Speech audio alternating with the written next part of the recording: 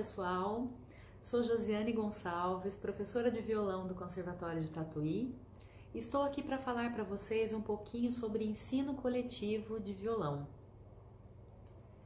Por ser importante no processo de democratização do ensino da música, o ensino coletivo vem se destacando em diversos países, inclusive no Brasil, e várias instituições têm abordado cursos para os profissionais que queiram trabalhar nessa área. O curso de violão coletivo está voltado para crianças de 7 a 11 anos e também para o curso preparatório, onde o aluno ele vai poder ingressar no curso regular de violão do Conservatório de Tatuí. Ele vai ter abordagem de repertório solo e também técnicas específicas, onde ele vai desenvolver as suas habilidades violonísticas. Dentre os instrumentos que podem ser utilizados coletivamente, o violão se destaca porque ele tem preços acessíveis, ele é de fácil transporte, é também um instrumento melódico, harmônico e acústico, o que facilita para as aulas coletivas. Os alunos possuem conhecimentos diferentes e bagagens musicais diferenciadas. Então, qual é a função do professor nessa?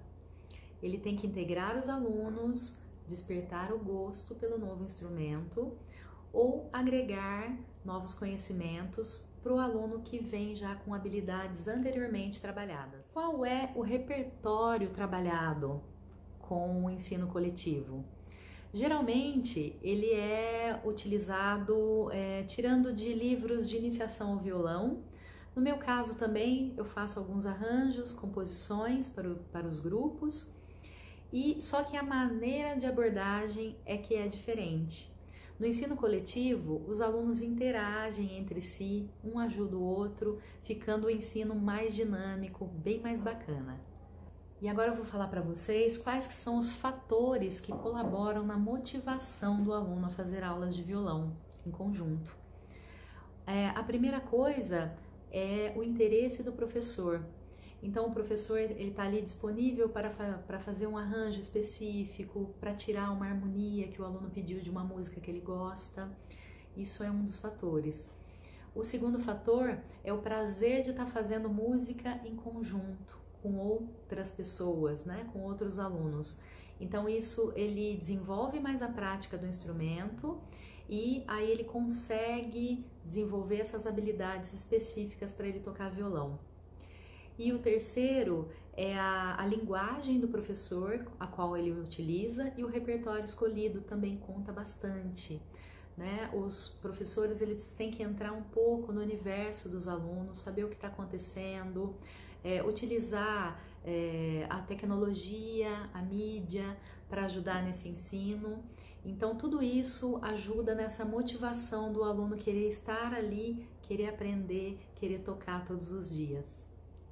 O ponto de partida para essa aprendizagem do instrumento é um desejo por parte do aluno, uma necessidade ou um motivo para que ele possa querer fazer aula de violão. O primeiro é a socialização. Ele pode querer fazer parte de um grupo ou de uma manifestação dentro da sua comunidade. O segundo é estar perto de pessoas próximas da família é, ou próximas, alguns familiares que toquem esse instrumento e ele vê, ouve e tem o desejo de fazer a mesma coisa. E o terceiro, o acesso. O instrumento às vezes está disponível ali na casa e a criança vai ali, mexe um pouquinho e toca e começa a acostumar com o som, então ele tem vontade de aprender esse instrumento. Todos os grupos passam por uma fase inicial de inclusão. É, às vezes os alunos têm medo de se expor, têm uma timidez, de falar com os outros alunos. O papel do professor nessa hora é de fazer um caminho para a aprendizagem em que o aluno consiga se soltar, consiga tocar para as outras pessoas, ouvir e ser ouvido. Isso é muito importante. E aí é, o professor vai criando um clima de participação na aula, que o aluno ele vai se sentir acolhido e então ele tem esse resultado bem surpreendente com o instrumento e com essa socialização do aluno. O professor também deve propor um ensino técnico consciente e de maneira que ele respeite o ritmo de cada aluno que está ali aprendendo, porque mesmo coletivamente, cada um tem o seu ritmo para aprender e ele deve ser respeitado. Então a gente vai percebendo uma evolução na sociabilidade da criança, na disciplina, na igualdade e no respeito pelas outras pessoas. Então essa essa música vai se tornando um agente transformador da sociedade através dessas aulas, através desse clima favorável que a gente estabelece aí ali de confiança em que o aluno se sente acolhido e quer voltar todo dia para fazer aula com a gente.